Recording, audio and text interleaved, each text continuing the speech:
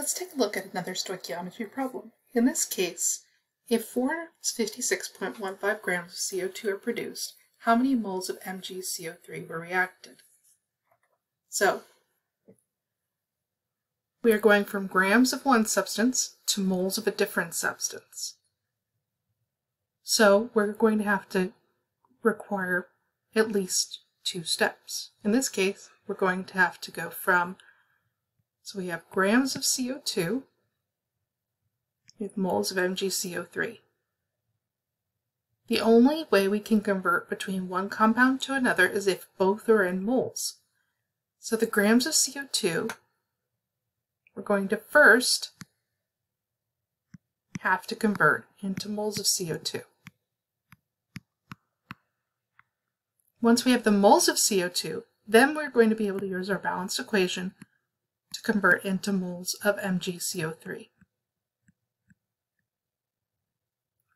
To get from grams of CO2 to moles of CO2, we're going to need the molar mass of CO2. So let's make sure you're being very clear about what you're getting the molar mass of, what you're working with.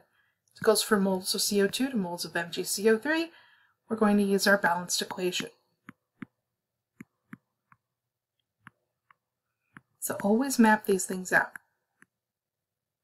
Our molar mass of CO2 C, if we look on our balance on our, our periodic table, it's 12.0107 grams per mole.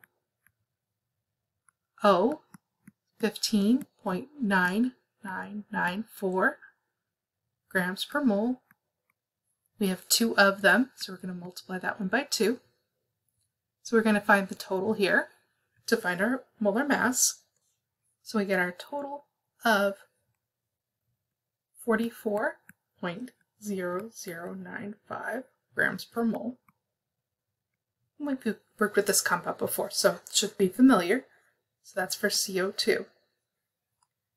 So I'm going to actually go through my conversion. I have 456.15 grams of CO2.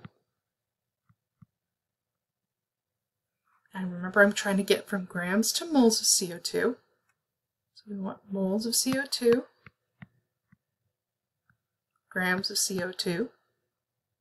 If we look, it's 44.095 grams for every one mole of CO2. So I have 44.0095 the bottom here, one mole on the top. I can calculate this out uh, to get 10.3648, so on, moles. I'm going to round to the proper number of significant figures. I have 1, 2, 3, 4, 5 here. 1, 2, 3, 4, 5, 6 here. So I want to round to 5 significant figures. 2, 3, 4, 5. So I have 10.365 moles of CO2. So that gets rid of my first step here. So I have my 10.365 moles of CO2. I want to get from moles of CO2 to moles of MgCO3.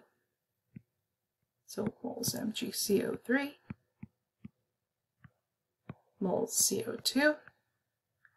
I need to find this ratio for my balanced equation.